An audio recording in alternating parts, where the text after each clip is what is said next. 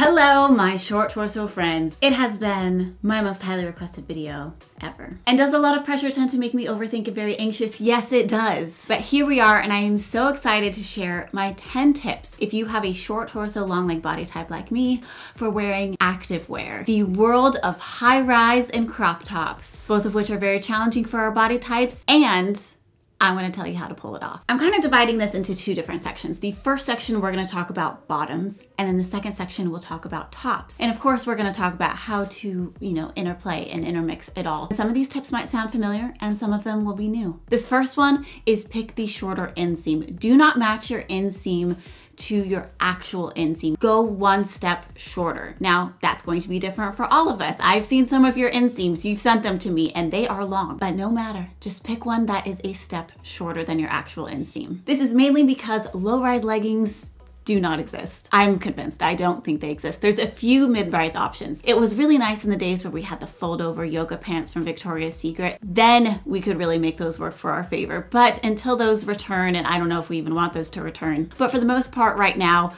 high-rise pants and even super high-rise leggings are like the thing that everyone uses. A shorter inseam is going to be your friend. Literally because you're taking the color block from your legs from this to this. It just makes them a touch shorter. So tip number two, because we're talking about kind of almost your ankles right now, right, with your inseam. The next step is to choose a shoe that is a pop. I call it a pop of shoe. Sometimes you call it a pop of color. You want a pop of shoe.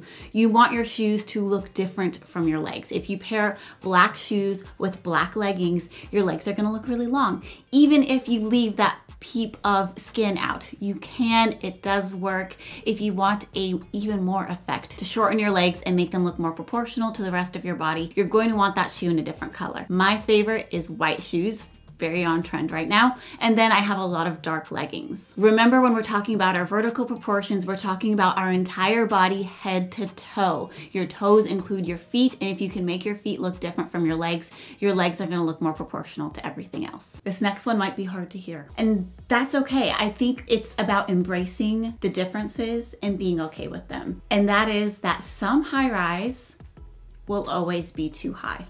It will always be too high. We cannot get past that. If something is a 14 inch rise, there's nothing you can do that's gonna make that better. The nice thing about activewear is that it's easier to tailor. My advice is to find one that you love, one that really fits your body, go out, try on 100, find the one, and then buy multiple colors of one. My personal favorite are the Wonder Unders from Lululemon. I know they're expensive, but I honestly cannot find ones I like better that last as long and that make me feel as good. Now this one could have been its own tip, but I didn't want to put 11 tips. So this is a bonus tip under this tip. And that is the nice thing about activewear is that it's really flexible. So you can move it around. You can do my little pull down trick and no one's gonna know. Those folds are gonna be harder to see. You can shimmy them down your leg a little bit easier because it's just all kind of there and stuck to you anyway. It's not like jeans that are super rigid or have to be in a certain spot. Leggings are a lot easier to move around. So you can pull off high rise, just put it where you want it to be, and then kind of mush that fabric around until it makes you feel comfortable. Again, a shorter inseam will help with that, which is another reason I really like the Wonder Unders because the tighter, this is like two bonus tips for one bonus tip. This should have been a 12 tip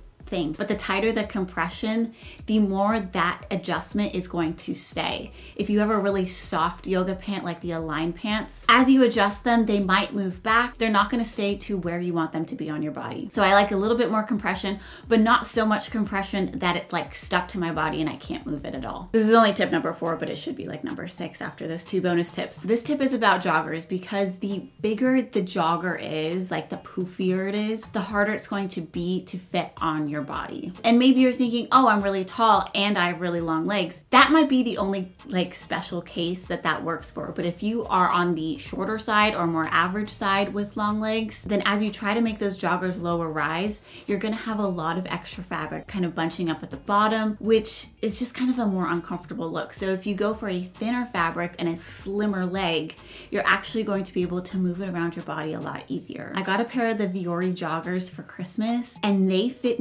so well. They're slightly cropped, which I didn't realize was going to be a thing, but it works on my body super well. So if you're looking for just like a really cozy pair of joggers, highly, highly recommend those. But I think all around, if you are looking for maybe one or two outfits of activewear, but I would choose all one color or all kind of similar tonal colors for your top and bottoms. The reason for that is because yes, we're dealing with high rise and yes, we're dealing with crop tops.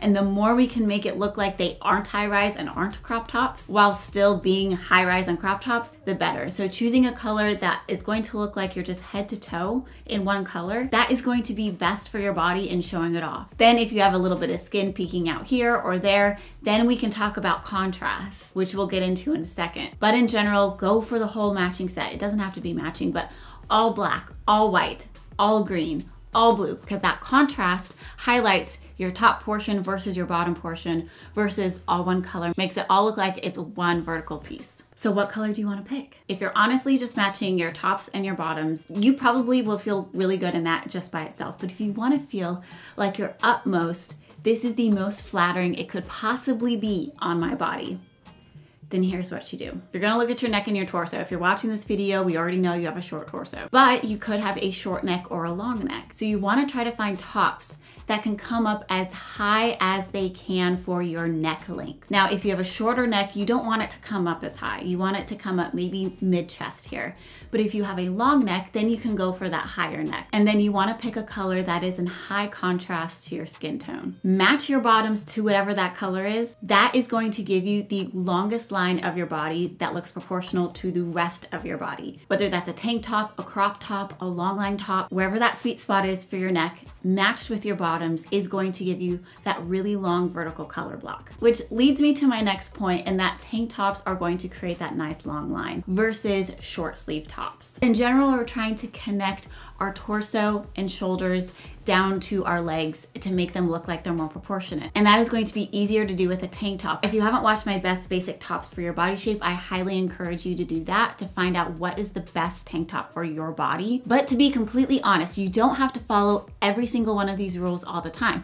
So let's say you choose a lower neckline. You're also gonna wanna consider your neck length. If you have a longer neck, you're gonna wanna choose something that is less contrast with your skin tone so that it's not so glaringly obvious how long your neck is and that it keeps going down all the way to your chest. For lower necklines, thicker straps will keep that vertical line and color block strong. This is when short sleeves can help thicken that line and create balance with your hips. If your horizontal body shape is wider in your hips than your shoulders, then this can help balance that out. But there's another element to this because when you have a short torso, things might not fit as properly or as they were intended to or like they were on the mannequin when they were made. So this is a really easy fix. It's a really inexpensive fix, but it is a fix. And that is to get the shoulders taken up a little bit. That cuts down on the area here, which might be longer on more proportional bodies depending on how tall you are and how short your torso is. But again, it's super easy. It shouldn't cost you very much money at all. Conversely, you can also find adjustable strap ones, but I find those are a little bit harder to find. Because with all that, you're gonna want a really supportive bra or a really supportive bra top. Whatever it is, you want support. You wanna bring those girls up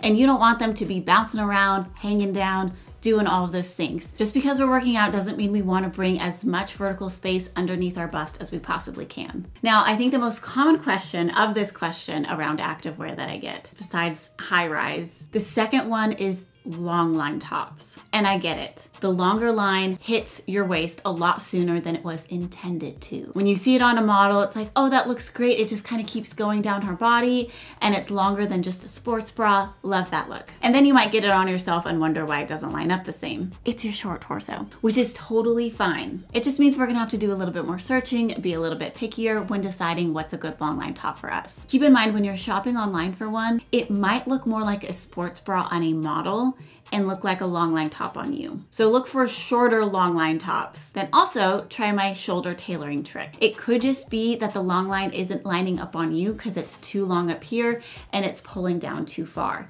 So try kind of, you know, folding it up here and seeing if it fits you better that way. All right, my short torso friends, I really hope this video lived up to your expectations. Let me know what else you wanna see down in the comments below. Make sure you like and subscribe. That would mean the world to me. Thank you so much for watching and I can't wait to see you in my next video. Bye!